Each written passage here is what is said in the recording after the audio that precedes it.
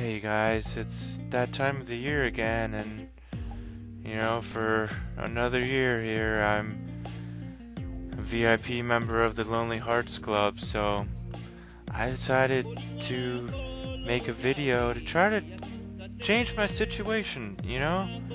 So this video goes out to the one that got away from me, the, a girl that I almost met on a train.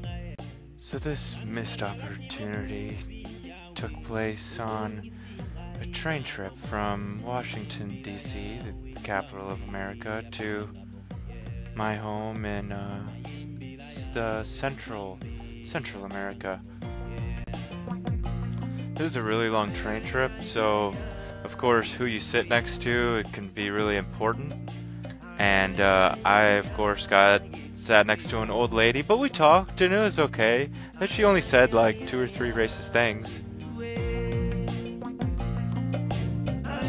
But after a little while, she fell asleep and I, I couldn't really sleep.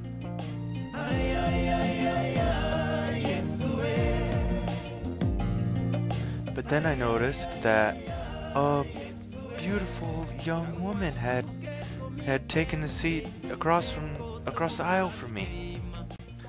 So I, I started thinking, you know, what what could I do to get this girl to notice me, get her attention, maybe even start a conversation. So I decided that I would drop some hints to let her know that I'm interested.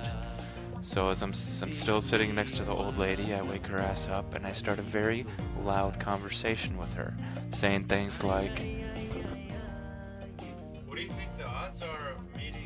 wife or your husband on a train?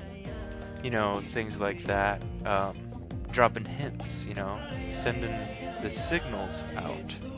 Um, also, I mentioned my email address just in case she was writing what I was saying down. Um, but, you know, it didn't actually work. Uh, we never had the conversation and the romantic story to tell our kids one day. You know, that just didn't happen on the train. So maybe she could have potentially been deaf, and that's why it didn't work. Honestly, she was probably just too shy. But um, I'm gonna give her one more chance.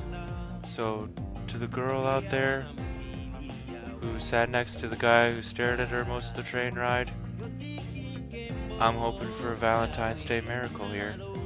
You know, reach out to me. I'm putting my information down at the bottom. I'm putting it all on the line. And uh, I hope to hear from you. And I look forward to spending the rest of our lives together.